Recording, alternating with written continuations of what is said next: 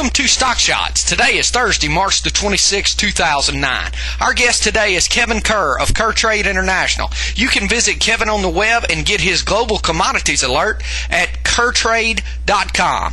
Listen in now as I interview Kevin Kerr. Hey, Kevin, thanks so much for being back with us on Stock Shotz this morning. Fantastic to be here. Thanks. Hey, Kevin, it's been really crazy, and we're finally beginning to see a little stability in oil prices. Uh, we we've had forecasts on the show from from oil won't go over 60 until we'll we'll see some level of speculation that kind of rivals last summer. Uh, that'll drive the price of oil up. Where do you stand with regard to oil prices? Well, like you said, it, it's been very, very volatile, and you know the the best thing here is to step back and take a look at the bigger picture. You know, we still have plenty of oil supply uh, around, but we've been long in my portfolio. We've been long crude using uh, option spreads because of that uncertainty, and um, it's actually paid off quite quickly. So there are uh, are ways to make money in this market. Um, having said that, you know, at this point, I'm probably going to close out that position. Now we're talking about March of 2010 crude. The closer in uh, months are very, very volatile volatile and very difficult to trade. Bottom line is, I think that because of all the oil supply we have on hand, and because we're really not seeing the job picture or industrial machine really begin to fire up quite yet, you're probably going to see oil get up around 55. Maybe that's the high for the front months, and then you see it trend back down for a while until we can start eroding some of that supply. Now, the one thing that does concern me is we are seeing a lot of the product usage. We're seeing less gasoline being made, and we're seeing less heating oil. That's clearly because uh, refiners just don't have the margin to do it. Um, so that's why the crude is building up, and and you know, so it's a catch twenty two. But at the end of the day, we're going to have more driving this summer. Uh, even if people are out just looking for jobs, um, you know, the demand will be there, and I think we'll slowly see uh, those supplies get dwindled away. And by fall, um, we really could have a, a crisis situation because these refiners will not have made enough heating oil going into the wintertime. Now, what about natural gas? I mean, natural gas just got obliterated, and I mm. think that was partly because I had invested so heavily in it. Don't take it personally. I got I got flushed out of that trade, but if we get into that crisis situation in the fall, will the the lack of those supplies pull nat gas up with it? Well, this is a real tricky market, and I, for you know, just to be clear, I'm long natural gas as well, and I've taken that ride with you. But I'm long the December of 09 gas, and I have, I have a lot of confidence that from these levels we'll come back. Now, again, we use an option spread on this, so down here, and looking at these prices, I'm going to buy back the short side of my spread. Doing that, I'm going to be long now the outright call.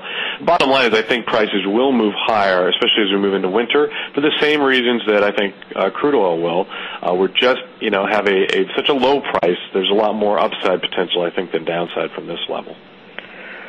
Do you see all of this money that the government is printing? And we've had the arguments back and forth on the show about inflation or deflation. We've had people argue that we're in a period of deflation because the, the bank's balance sheets are getting crushed, and they're arguing that all of this money that the government is putting out there is simply rebuilding the bank's balance sheets. But do you think that this money is going to cause inflation? This is a case of the cure is worse than the disease. You know, I mean, I understand the argument that we need to put the paper out there during this difficult time, and that'll, you know, that's what the the cure is right now. But the longer term illness um, this cancer of debt is just going to explode. And eventually, whether it's us or our children, we're going to have to be faced with this problem. But ultimately, you know, it's, it's a no-brainer, whether you're a genius economist or not, that if you print all this money, you're going to have inflation somewhere down the road. And most all the economists agree on that. They just say right now we need to print more money. It's just very short-sighted, and unfortunately, I think putting off the inevitable, which is fixing these problems we have and having to take some pain. And uh, you know, people don't want to do that and it's not popular politically. So here we go with you know trying to save companies that should have shut down a long time ago, and um, you know, and writing checks that we can't cash. Yeah, you know, yesterday the uh, the auctions were. were I believe somewhat of a surprise for the market. There is just not as much demand for the debt as, as uh, there really needs to be to finance all of this mess. Well, absolutely. I mean, the appetite for debt around the world, especially U.S. debt, is, is dwindling. I mean, you know, China's uh, China's once again doing their overtures of saying they want a different reserve currency, which of course they've done before, and they're, they're in an untenable situation too with the U.S. They depend on us as much as we depend on them. But at the end of the day, it's it's very worrisome as far as uh, treasuries and certainly for the dollar. I, I mean, with the currencies around the world right now, it's really a race to the bottom. I would say that you know uh, it's not you know which one is better; it's which one's the least bad. And right now, the U.S. is probably a little ahead of the curve, but I don't think that's going to continue, especially with what we've seen in, from the Fed the last couple of weeks. You know, I think that uh, I lost a lot of money not realizing the least bad theory because you know we were looking at what was going on we were trying to short the dollar, and it held up amazingly well. So, mm, uh, but I, I think that uh, I think you're right. At some point, it has to fall. It's a house of cards, you know. I mean, it, you know, you, again, you can't print this much money and give it away and expect uh, it not to have to mop up those dollars later and that creates inflation when you have a lot more money in the system. You can't just easily get rid of it. And I think the Fed just doesn't have a mop big enough to clean it all up. Uh, it, it's just, you know, what are they going to do? Raise rates? Uh, you know, that's that's a long way off. Um, so you know, it's it's a tricky situation to be in. When I talk about politically unpopular, I, I think the toughest thing in this equation may be to raise rates as soon as things start to to indicate that that they're moving upward because at that point there's still going to be a lot of angry, unemployed people that mm-hmm. don't want to see those rates go up. Well, exactly, and you're going to have, and I believe in the, in the commodity sector, which obviously we're talking about energy and food.